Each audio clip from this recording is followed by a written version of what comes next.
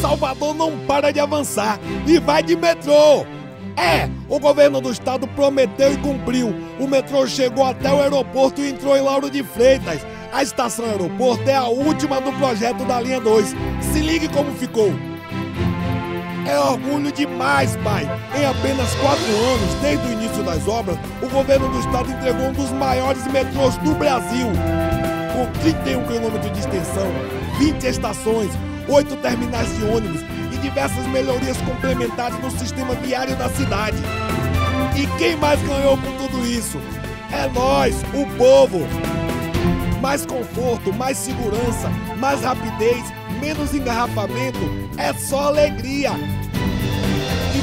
Mais por aí porque nosso metrô é obra tamanho G, de governo do estado.